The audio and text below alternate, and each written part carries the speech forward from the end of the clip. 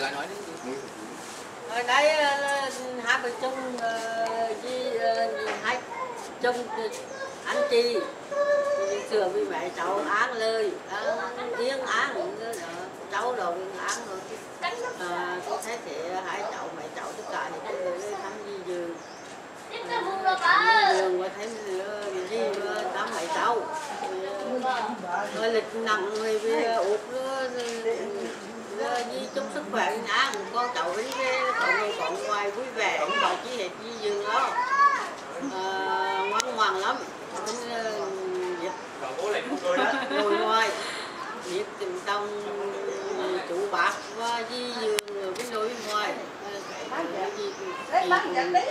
Chị việc gì chị có vai lên thì nói quá thì tôi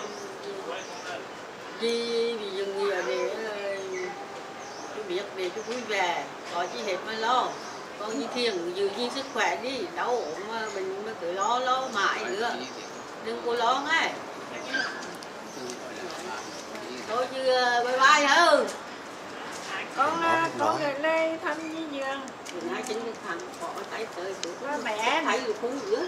Ba con lên rồi rồi thiệt chủ gửi ra tâm hiện luôn. Chúc với giường à, sức khỏe đi nhất là gì đau ốm là gì cố gắng giữ sức khỏe Thì ngoài con biết. Người mà đang hết chúc à, với giường là sức khỏe là con mừng rồi rồi hết lời thôi ở đi đi ở đi ok. Ông không cho được nữa nè. Ok ở rồi rồi rồi Thôi, đi à.